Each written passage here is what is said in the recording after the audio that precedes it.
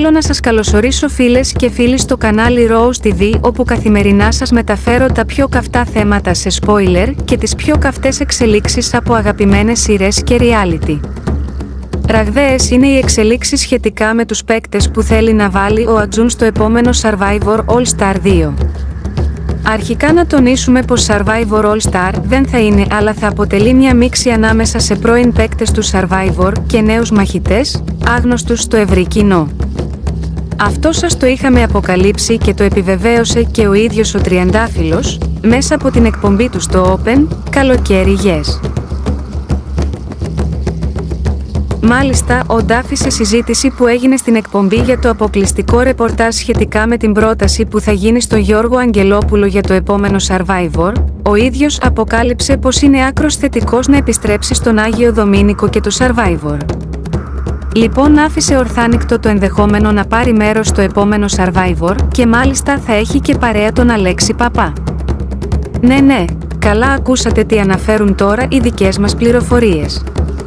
Σύμφωνα με πληροφορίες συζήτηση ανάμεσα στον Τριαντάφυλλο και την παραγωγή έχει γίνει.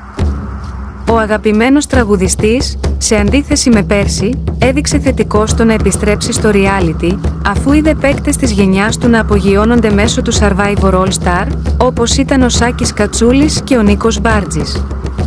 Ο Τριαντάφυλλος πιστεύει, και καλά κάνει το παιδί, πως μια επιστροφή στο Survivor θα απογειώσει και άλλο τις μετοχές του, παρότι είναι από τους ελάχιστους που μόλις τελείωσε ο κύκλος του στο Survivor δεν χάθηκε από την επικαιρότητα.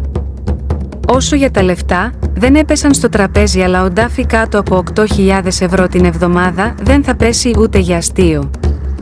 Πληροφορίες μας μάλιστα αναφέρουν πως πέρσι ζητούσε σχεδόν τα διπλά.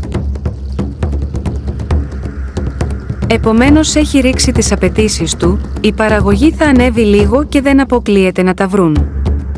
Άλλωστε πέρσι η παραγωγή ήταν ξεκάθαρη πως πάνω από 5.000 ευρώ την εβδομάδα δεν θα πάρει κανείς.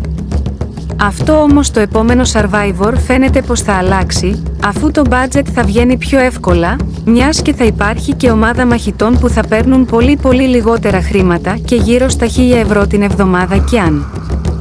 Μείνετε συντονισμένοι με το κανάλι μας, εδώ στο Rose TV για τα καυτά spoilers που έρχονται, με μια δωρεάν εγγραφή στο κανάλι μας, και με ένα κλικ στο καμπανάκι για να μην χάνετε τα βίντεο και τα συγκλονιστικά spoiler που ανεβάζουμε.